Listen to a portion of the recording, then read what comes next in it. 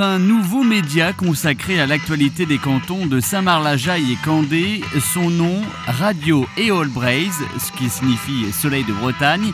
Il s'agit d'une web radio basée à Vritz chez Olivier Magicson, ancien animateur, véritable passionné de la bande FM.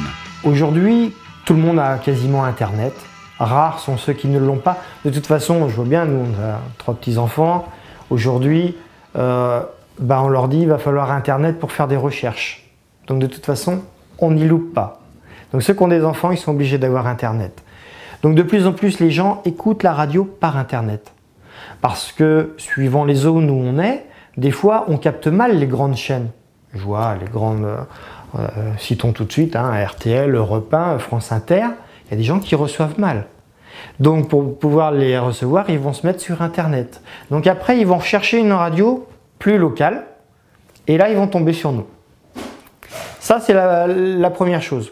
Demain, qui va pas avoir, je dirais, un téléphone portable avec internet dessus, un forfait internet, qui pourra recevoir donc notre radio sur son téléphone portable qui sert aussi de baladeur.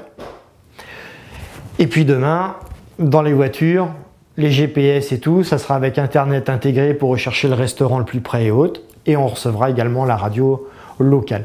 Donc euh, le développement d'Internet, c'est la bonne voie. Notre rôle, hein, je dis toujours, c'est un peu le place-plat, c'est de, de, mettre en avant euh, certaines choses que d'autres n'ont peut-être pas vues, et puis euh, bah, d'aider les artistes en herbe à se faire découvrir également.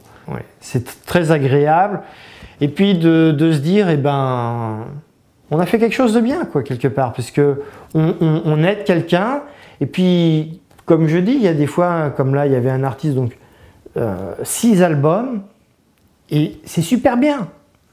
Mais il n'a pas eu cette chance de passer vraiment sur des grosses radios. Je trouve ça dommage. Pourquoi on n'est pas tous égaux? Parce que vous allumez certaines radios, vous avez toujours la même chanson. Quoi.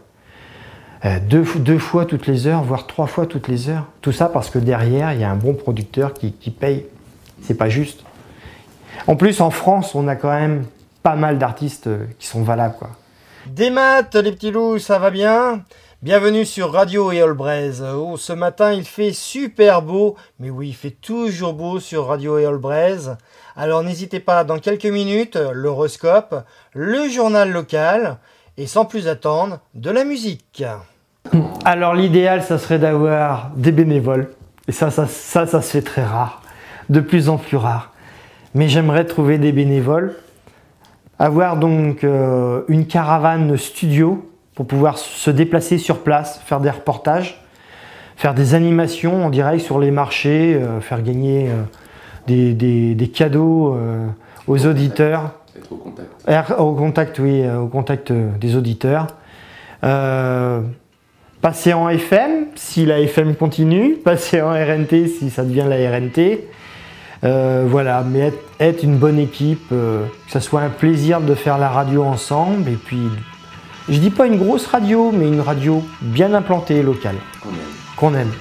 Alors si vous êtes vous aussi passionné et souhaitez donner quelques heures de votre temps pour participer à cette aventure, eh bien rendez-vous sur le site internet de la radio.